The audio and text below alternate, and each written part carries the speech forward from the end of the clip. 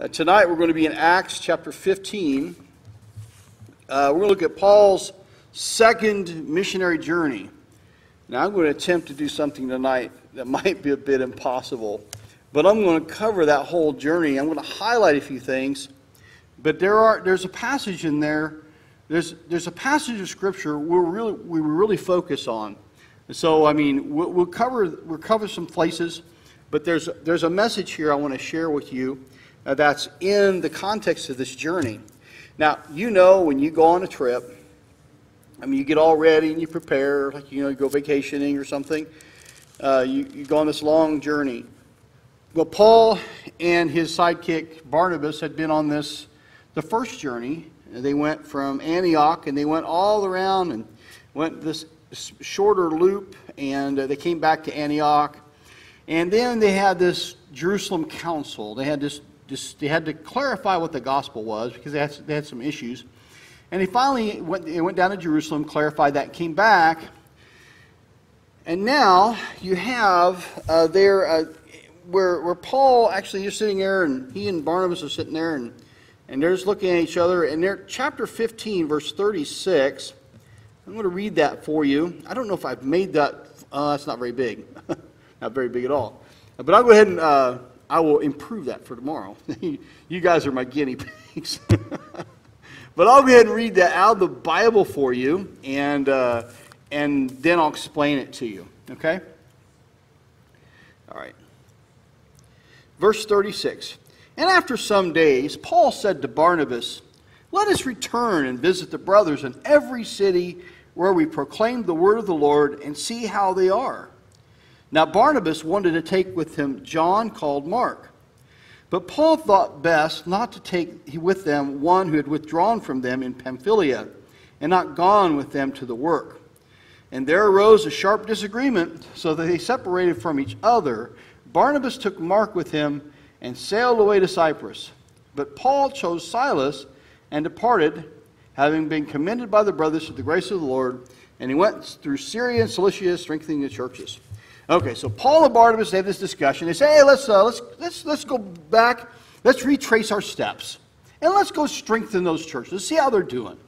Okay, so Paul and Barnabas get ready to go, and then Barnabas says, well, hey, let me bring along Mark. Well, Mark uh, abandoned them on the last trip. And Paul said, no, no, no, no. He's a quitter. I'm not bringing quitters on. You're not going with me. And so they start having this argument. They start having this, this argument, Barnabas and Paul. And, uh, you know, what this tells us that even in the early church, they had arguments and disagreements, right? I mean, they weren't perfect. So they had this argument, disagreement. But what happened was, out of this, you end up having two mission teams from this, right? Um, you know, we, also, we often talk about church splits. It's unfortunate that sometimes the only way they plant churches through church splits. it's not pleasant, it's not good, but sometimes you have churches that are ready to give birth to a new church. And instead of planting a new church, they, they just so we have churches all across the state of Illinois that would not be there if it hadn't been for a church split. Did God did God uh, did God do some, have something to do with that? I don't know. But here we have a sharp division, and you have two mission teams instead of one. So I, that was a plus. And then later on, we do know that Paul and Mark, they do make up. I mean, Mark, Paul says of Mark, he's, he's, he's a good guy. He's, in fact, Mark's very good because he wrote the book of Mark in the Bible. So pretty, pretty good, pretty good credential there. Okay, so, so they do get along. But we do know that even in the early church, we want to ideal, we want to so idealize the early church and make it look like they were perfect. But we find here, no, they weren't perfect. They're like us. They're human. They're, and you have Paul, the super Christian, and Barnabas, the super Christian, and they both have an argument, and they can't, they can't agree, and finally they split ways. And so you have uh, Barnabas takes Mark, he goes to Cilicia, Cyprus, not Cilicia. They go to Cyprus. This is familiar territory. Mark evidently is not ready to go beyond the beyond, but they go back and they visit those churches there. And then uh, Paul takes Silas. Silas a prophet. He's a prophet. He's a preacher and teacher, and he's a proven, proven in doing ministry. So Paul said, I'll take him with me, and he will, we'll go and we'll, we'll go these, uh, this other way. And that's what happens, okay? So in this second, second missionary journey, Paul is going with a different partner. So let's go. Then they go. Okay, here's the map. Show you the map. And we'll come back to this. I hope you can see that. I hope it's not too confusing for you. You see over there Syria, all the way on your, your right side. You have Syria, and you have right over there in that area, that's where they start out from, is Antioch. Okay? And they will, they will head out, they go north, and they go through, you see Cilicia is the purple thing. Then you go up the green, the green area. See the green? That's Galatia. That's the area where Paul and Barnabas, Derbe, Lystra, and all those areas, that's where they planted those churches, and this is where Paul wants to go visit in that area of Galatia. He wants to check up on them. But Paul's going to go through Tarsus, his own home in Cilicia, and he goes on up to, into Galatia. Okay? So that's the plan. They're going to go visit and check up on those people. Okay? But something happens. As they go up, we find out they get stuck in a place called Troas. Okay? I'll go ahead and read that for you, and uh, because I know you can't see that. So Acts 16, verse 6 through 10. He says, And they went through the region of Phrygia and Galatia, having been forbidden by the Holy Spirit to speak the word in Asia. And when they had come up to Mysia, they attempted to go into Bithynia, but the Spirit of Jesus did not allow them. So passing by Mysia, they went down to Troas, and a vision appeared to Paul at night. A man of Macedonia was standing there urging him, saying, Come over to Macedonia and help us. And when Paul had seen the vision, immediately we sought to go on into Macedonia, concluding that God has called us to preach the gospel to them. Now it's interesting. Go back that, that other slide where I want to show something. You see the you see the, the red continent there, Asia?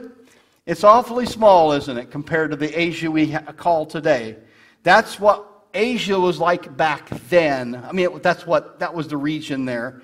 Uh, that's what they called Asia. So Paul went through that area. You see the red line, and what it says there is the Holy Spirit would not allow Paul and Silas as they went through there. They, he did not allow them. He forbid them to preach the gospel there. That's kind of interesting, isn't it? Um, later, we know that Asia gets the gospel preached there. God does that later. But now's not the time. God has something on the agenda now for them to go to. Okay? But Asia's not yet ready. And so God has them, and they stop there at Troas. It's on the very edge. You probably can't see it very well, but they're stuck there. And they say, well, okay, oh God, uh, you don't want us to preach here. So what do you want us to do? So they're stuck there for a little while, and they're praying about it. And while they're praying about it, Paul gets a dream. He sits there and he dreams, and he has a dream of this man coming to him. It's Macedonian. And Macedonia, you see the orange one up, up your upper left? That's Macedonia. And um, a guy from Macedonia appears to Paul and says, Come over and help us. We need the gospel preached to us. Come over and help us. And when Paul woke up from the vision, he concluded that God was calling him to go over there. So, so it's interesting. What, what we see is, and what I want you to think about for a moment, is Paul and Barnabas, they really didn't pray about going back to Galatia, did they? They just decided, well, let's go back and visit Galatia. Sometimes we do that. Sometimes we just go, we just know we just, something's on our heart to do. God puts it on our heart. We, we want to do something and we go and do it. And you know what? As we're doing it, then God gives the direction while we're doing it. Okay? And that happens a lot of times. You know, but, but we, we, we follow the, compa- the compelling, the compulsion of our heart. Our heart says, I want you to love these people. I want you to care about these people. And as you're following the love that's in your heart, as you're following your heart, then God begins to give you direction as you're stepping. And this is what we see. As they're going, God is giving direction. So they knew, I don't know how they knew, they knew they were not to preach in Asia, and they were stuck there in Troas. And then in that moment, God gave them the direction go over to Macedonia. Okay? So they go to Macedonia. And on this, uh, on this mission trip, the first place they actually go to is Philippi. You can see over there on that map, the, the red line kind of goes over there to Macedonia, a place called Philippi. I think you might need to do two slides there. I think, uh, um, Lori? Yeah, right there. And while they're at Philippi, I can go into the, all the details. That's something you might want to read. But while they're at Philippi, these are the things that they encounter there in that city. Okay? They go there and they they go to a place, a, a place of prayer. Now, this isn't a Jewish synagogue. This is just some place of prayer where people pray. It could be pagans. I don't know what kind of place this is. I mean, it doesn't really clarify. It's just a place of prayer. So people were going down to pray to this place. And a woman named Lydia was there. She was a caller of, she was a seller of purple. And when you sold purple garments, that was a royal, you were selling, it was a very rich and lavish garment. You were selling it to very wealthy, often royalties, what you were doing it for, because purple was the, uh, was the. So he went there, and as they were at this place of prayer, he's talked to Lydia, and Lydia was actually his first convert to Christ here in Philippi. She believed the gospel, was baptized. And she told them, she said, if, if, it's, if it pleases you, come over to my house. You guys can stay there and set up shop. And just operate from here. So then the second thing you have happen at Philippi is a demon, there was a demon-possessed slave girl. Now this is interesting. Because Paul's walking through the streets. He's getting ready to, he's preaching, to, talking to people the gospel. And there's this girl, this slave girl, that was used by um, uh, a, an occult type person, was used to read people's fortunes and all that kind of stuff. She was demon possessed. Now, this demon possessed girl sees Paul and Barnabas, or not Paul, Paul and Silas. She sees Paul and she walks up to them. These are the prophets of the Most High God. And here they're walking along. There's this woman. She's, These are the prophets of the Most High God. These are the prophets of the Most High God. And she says there, she does this for several days. She does this for several days. And it isn't until after Paul gets annoyed, okay? Yeah. Out of her. He, he, he rebukes this, he rebukes the spirit. In Jesus' name, I command you, come out of her. And the spirit leaves her. Well, she can't do her fortune telling anymore. She can't do all that stuff anymore. Okay? And so, because she can't do that, her her master has lost his way of making money, and so he gets really mad and upset. He, throw, he gets, uh, gets Paul arrested, beaten, and thrown in jail for it. Okay? Now, I, I want to stop just for a moment before I go any further. Now, some people, that'd be the first thing they would do, wouldn't it? Walk into town and cast out all the demons first. but Paul, that wasn't the first thing he did. He went around and preached, he was preaching the gospel, and it wasn't until the woman was bothering him until he actually cast the demon out. And there's some people who are so quick to cast demons out, look for demons to cast them out. But Paul wasn't looking for them. But he does. He casts a demon. He's arrested, he's beaten, and thrown in jail. And while he's in jail, there's a Philippian jailer, and him and Paul and Silas, Paul and Silas actually, they're, they're in the stocks, and at midnight, they start singing into God. They sing hymns, and they start praising God at night at midnight. They start singing kind of crazy. And all the guys, they listen and they think, well, this is really weird. And all of a sudden, the jail, there's an earthquake in the jail. It breaks open. And then uh, the jailer walks in, sees all the bars and the, the, the gates unlocked, and he's going to kill himself. And Paul says, Don't kill yourself, we're still here. And so Paul shares the gospel with the jailer.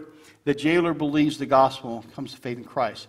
The jailer takes him home takes him to his house that night, washes Paul's wounds because he was beaten, and then Paul baptizes the jailer and his whole household. Okay? So that's quite something. The next day, uh, the magistrates, oh, there's nothing wrong. Paul did nothing wrong. They threw, you know, they had him in jail, and they said, well, you can release him. They send some, some jailer to release him, and Paul says, no, no, no, no. This isn't going to happen. This, I'm a Roman citizen get them to release us themselves. and so, anyway, they finally release them and they leave Philippi. So that's what happens to Philippi. Then they move on to Thessalonica. Thessalonica. And in Thessalonica, this is his custom. He usually goes to the synagogue, and he was in Thessalonica for three weeks. So he goes there, reasons with the Jews and Gentiles about Jesus. And so after a while, there's Jews that don't want, that reject what he says, and they they uh, create a riot, a revolt against Paul and Silas. And so they were taken to the city authorities along with Jason, one of the new believers. And then they let them go after Jason, he pays money for security. I don't know if it's bail or something, but he was only there for three weeks, and they got believers there at Thessalonica. And we have the books of Thessalonians uh, written after that, too. So he goes from Thessalonica, and he moves on to what's the next place? Berea. And he's there at a he's there in Berea a short while too. In Berea. Now there's something interesting. He does the same thing, goes to the Jewish synagogue, but the Bereans, it says, they were noble because they searched the scriptures daily. When Paul was sharing about Jesus being the Christ that was prophesied, the Bereans actually had their, their scriptures out and they were searching to see whether he was, he was on the mark or not.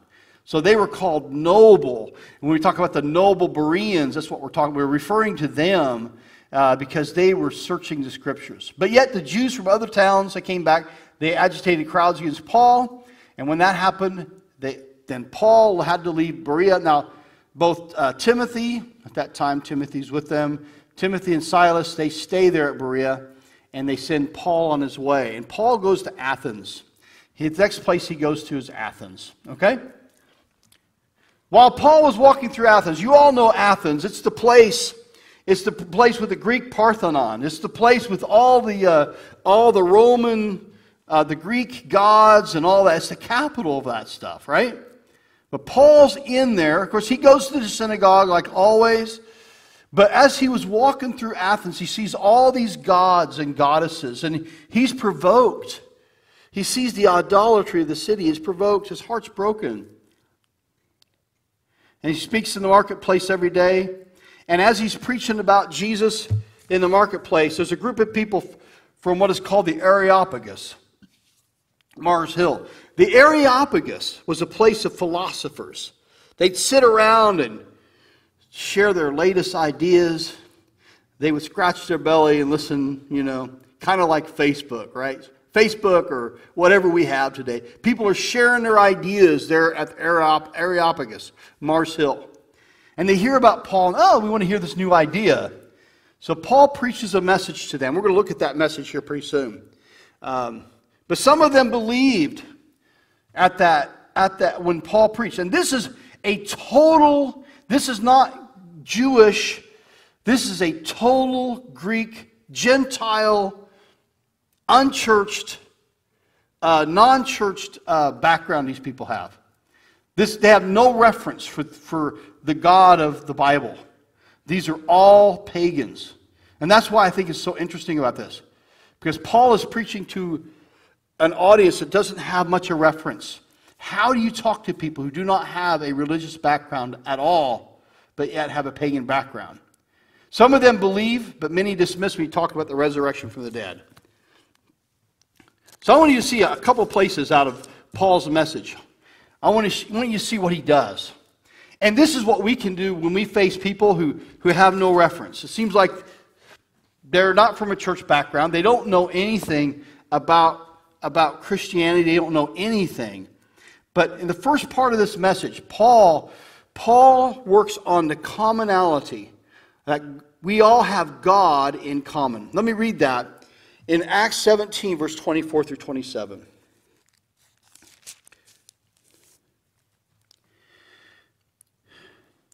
He says, The God who made the world and everything in it, being Lord of heaven and earth, does not live in temples made by man, nor is he served by human hands as though he needed anything, since he himself gives to all mankind life and breath and everything.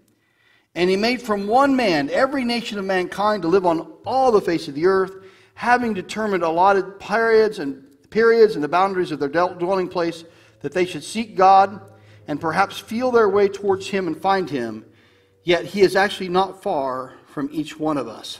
Now, as he preaches to the Gentiles, these people who are pagans, he's telling them that there's one God.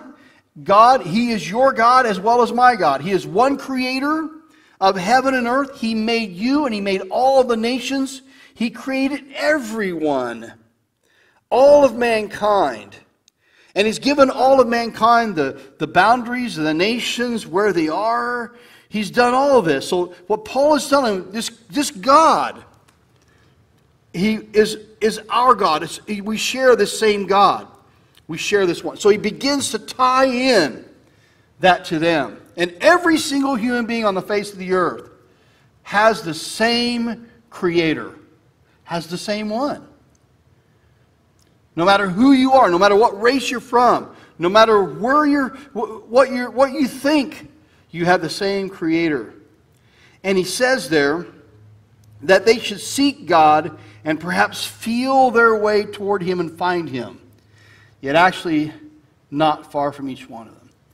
Every, every culture, every tribe has a heart for God. They seek after God. They might be, they might be not perfectly correct, but there is a hunger for God. Why? Because God created man for worship. God created man so he can have a relationship with man, and when man is away from him, man wants to know about a creator.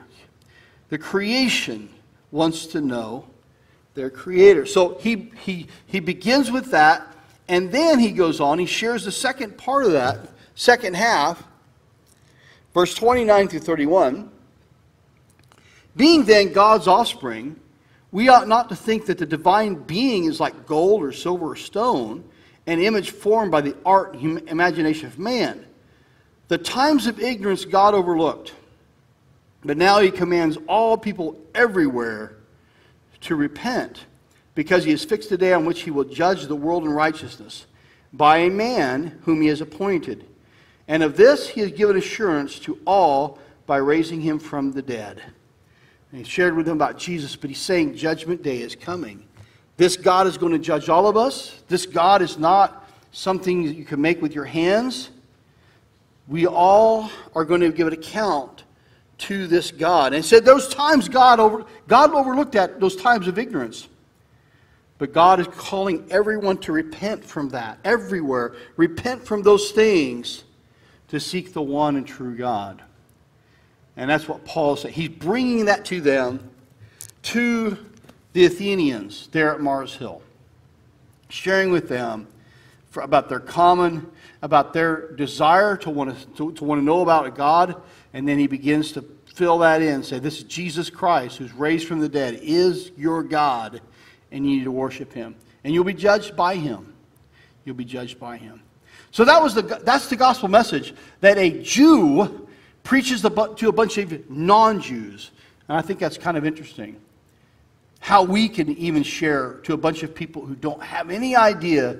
We begin with the commonality that we're all His creation. And then we, can, then we move into the judgment that God's going to hold us accountable. He calls us to repent of our sin and place our faith in Jesus. Okay, so after, after he preaches that message, there's some who believe the gospel and some who do not. And he does talk to those who do believe, and but many just dismiss it. He talks about resurrection, they don't want to hear it. Okay. Then he moves on to the, the, the next place is Corinth. We're almost to the end of his journey. Corinth. While he was at Corinth, he found a couple named Aquila and Priscilla. They were tent makers. And Paul was a tent maker. He was bivocational. He worked a job while doing his ministry and Aquila and Priscilla. So he started working with them, started staying with them, hanging around with them. And before long, Aquila and Priscilla came to faith in Christ. Paul led them to Christ. And they actually became very, very strong partners with Paul in sharing the gospel in other areas. And he had the same pattern, went to the synagogue, reasoned that Jesus was the Christ to both the Jews and the Greeks. The Jews rejected, and, and at that moment, Paul shook off his clothes, said, uh, I'm going to the Gentiles. You guys have already judged yourself unworthy of this.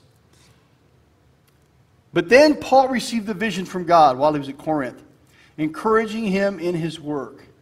And there's times when God gives us visions. God will share with us things, encouragement in the right moment and the right time when we look for it. He doesn't give me, he gives us encouragement for the moment. He knows when we're worn out and, and weary. And if we, if, we, if we keep ourselves alert to see what God does to encourage us, it could be something really small, something really simple. But be, be, uh, be alert to that. It could be a phone call from somebody out of the blue. It could be just something. But be alert to how God might encourage you. Sometimes God does give us a vision. He speaks to us directly to encourage us. And what basically he told him, he says, Be encouraged, Paul. I have many people in this city. that have yet to call upon me. Stay with it. Don't give up. So he stayed there at least one year and six months. That's probably the longest up to that time that Paul stayed in a town while on his missionary journey. And so Paul starts to head back, and on his way back, he goes through Ephesus. And Ephesus is in Asia. Doesn't stay very long there, because that's the area that the Spirit didn't want him to go into yet. So, Ephesus, he's there for a short time. Priscilla and Aquila go with him. And the Ephesians, while he shares with them, the Jews, they ask him to stay longer, but he has to move on. He promises to return if the Lord wills. And so then from Ephesus, he goes back to Antioch. He's back home, back at Antioch. So that's his missionary journey. So that is the full, the second missionary journey. We had just covered three chapters. Man, you guys are really good staying with that. Really good. God calls us to journey out in the, in the glory of his name. God will call us to do different things. And when we, when we start to walk in obedience with what God does, that's when we begin to experience his power. Now, I want you also notice it's, it's dangerous. When Paul went and did and obeyed God, he was thrown in jail, he was beaten. but you know what? When, in those times, in those times when that happened, Paul experienced the power of God like you wouldn't believe. I've been reading uh, a lot of church history lately. And as I read down through history, I've seen people have done some, made some incredible sacrifices that would blow your mind. Like, I don't know if I could do that. And when they do that, sac- make that sacrifice, and they would step out, and they would either be persecuted or they, they sold everything or did something for somebody else that cost them a great deal. It, it was amazing how when they did that, God did something miraculous beyond what they can imagine or think. And sometimes we want to see God do some things in our lives. But I tell you, I don't know about you, but for me, I want to see God do some things in my life but I want to be safe doing it. and I know that oftentimes God doesn't lead us to safe areas sometimes. Sometimes He's got a, sometimes we walk through the valley of the shadow of death and we see Jesus, He's with us, and His rod and staff, they comfort us. But we see all this stuff going on around about us and scaring us half out of our mind. But we have to look to Jesus. We look, have to look to Him. We have to look to Him to, to bring us courage and boldness. I don't know what God might be calling you to. I read a statement uh, just yesterday. It really, it really struck to me.